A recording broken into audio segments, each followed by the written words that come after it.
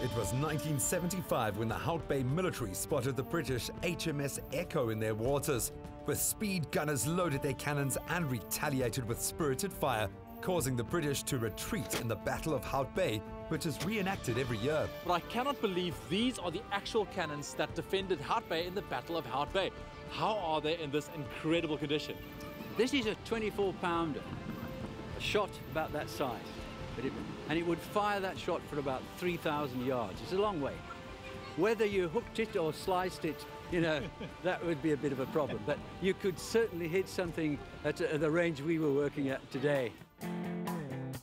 The Hout Bay guns are the oldest working cannons in the world. And 200 years later, they're still firing away thanks to loving restoration of a small group of avid history lovers. Our gunners are going to load a charge into the into the chamber here. This is called the chamber at this end. He's got a special scoop, and that scoop is placing that charge into the chamber. This is a ram, a rammer, and he's ramming that charge tight.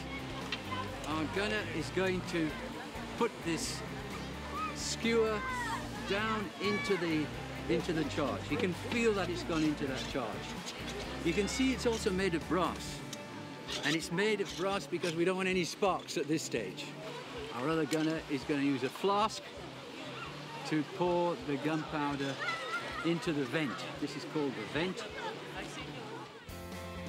Ewan looks terrified to be in the firing line. Three, two, one, and fire! Hey! hey!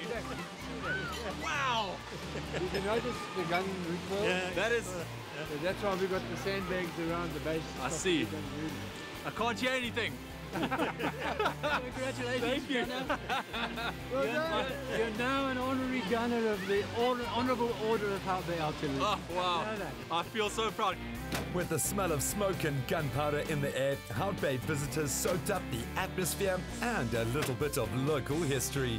What an incredible experience today. So obviously the guys didn't trust me with a big cannon, so they gave me the small toy to play with, but man, does it pack a punch. I mean, my ears are still singing.